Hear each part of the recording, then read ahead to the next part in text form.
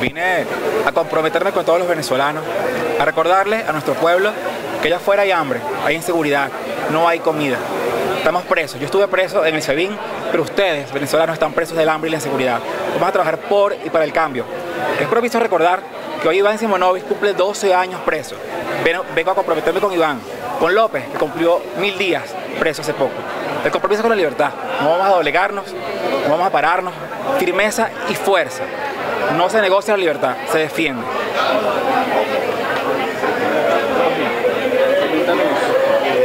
luego de esta liberación eh, se esperaba que también liberaran al alcalde metropolitano Antonio Ledesma, sin embargo no se han producido nuevas liberaciones. ¿Cuál es tu opinión al respecto? ¿Crees que esa mesa de diálogo está funcionando, va a funcionar?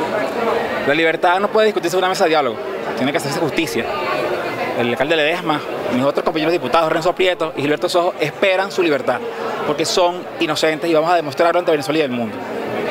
Dos años después estás aquí en la Asamblea Nacional, ¿cómo te sentiste representando al pueblo del Táchira que fue el que te eligió cuando tú estabas Quiero agradecer al gran pueblo del Táchira, San Cristóbal, por haber eh, roto el candado y darme mi libertad. Daniel Ceballos, mi hermano que está allá en, el Sabín.